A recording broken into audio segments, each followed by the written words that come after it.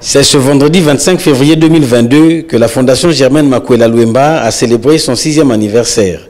Un anniversaire couplé à la clôture de la 296e édition du Don de Son. Pour rehausser son image et encourager cette fondation caritative, le préfet du département de Pointe-Noire, Alexandre Honoré Paca, a marqué sa présence à cette modeste activité, mais grande, en acte. Pour cette édition, 1800 poches ont été collectées au bénéfice des malades des hôpitaux de Pointe-Noire, Quilou, Niari et de bien d'autres départements de la République. Un partenariat avec le centre interdépartemental encouragé par son directeur et la directrice départementale des soins et services de santé Pointe-Noire.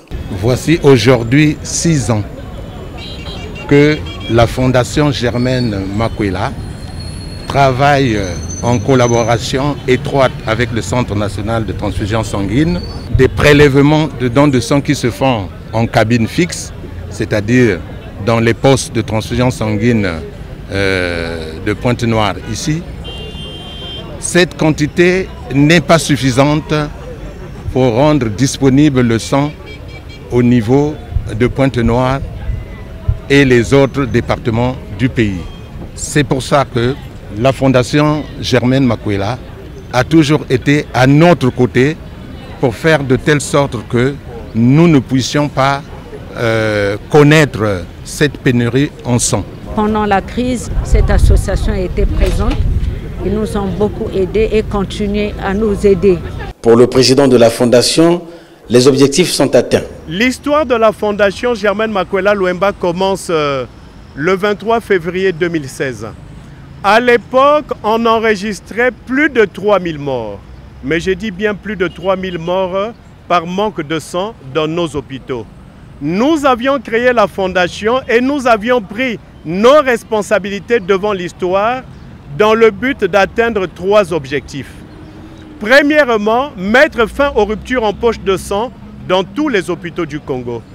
Deuxièmement, travailler dur pour mettre fin au système du remboursement familial. Et troisièmement, négocier avec le gouvernement de la République pour espérer que la poche de sang devienne gratuite dans notre pays, le Congo.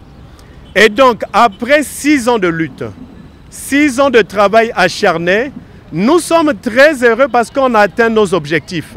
Alexandre Honoré Paca sur le sens de cette activité. Nous avons voulu nous rendre compte euh, de comment se déroule cette opération. Le sang ne manque plus dans certains hôpitaux grâce à leurs activités. Le message euh, est clair.